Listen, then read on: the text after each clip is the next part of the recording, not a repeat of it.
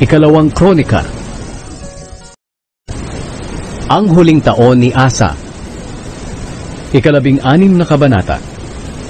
Nagikatatlumput-anim na taon ang paghahari ni Asa, nilusob ni Haring Baasya ng Israel ang Huda, at pinabakuran niya ang Rama para walang makalabas o makapasok sa teritoryo ni Haring Asa ng Huda.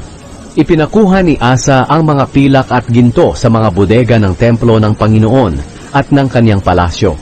At ibinigay niya ito kay Haring Ben-Hadad ng Aram doon sa Damascus, kung saan siya nakatira. Ito ang mensahe ni Asa kay Ben-Hadad. Gumawa tayo ng kasunduan na magkakampihan tayo, gaya ng ginawa ng ating mga magulang.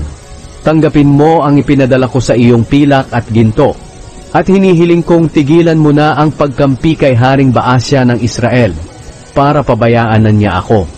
Pumayag si Ben-Hadad sa kahilingan ni Haring Asa, at inutusan niya ang mga kumander ng kanyang mga sundalo na lusubin ang mga bayan ng Israel. Nasakop nila ang Ijon, Dan, Abel-Maim, at ang lahat ng lungsod ng Naphtali na ginagamit na bodega. Nang marinig ito ni Baasya, ipinahinto niya ang pagpapatayo ng pader sa Rama. Pagkatapos nagutos si Haring Asa sa lahat ng lalaki ng Huda na kunin nila ang mga bato at mga troso na ginagamit ni Baasya sa paggawa ng pader ng Rama at ginamit ito ni Haring Asa sa paggawa ng pader ng Geba at ng Mizpa.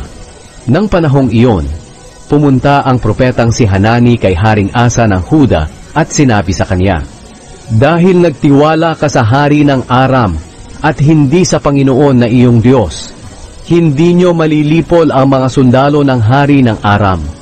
Naalala mo ba kung ano ang nangyari sa mga taga-Ethiopia at taga-Libya na ang mga sundalo mga karwahe at mga mangangabayo ay napakarami.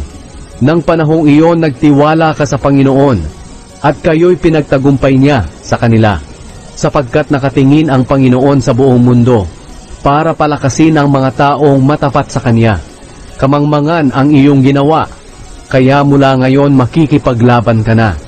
Dahil dito, labis na nagalit si Asa sa propeta, kaya ito'y kanyang pinakulong. At sa panahong ding iyon, nagsimulang pahirapan ni Asa ang iba niyang mga mamamayan. Ang mga salaysay tungkol sa paghahari ni Asa mula sa simula hanggang sa katapusan ay nakasulat sa aklat ng kasaysayan ng mga hari ng Huda at ng Israel. Nang ikatatlumput siyam na taon ng paghahari ni Asa, nagtiis siya ng karamdaman sa paa. Kahit malubhana ang kanyang karamdaman, hindi siya humingi ng tulong sa Panginoon, kundi sa mga manggagamot. At nang ikaapat na isang taon ng paghahari niya, namatay siya. Inilibing siya sa libingan na ipinagawa niya para sa kanyang sarili sa lungsod ni David.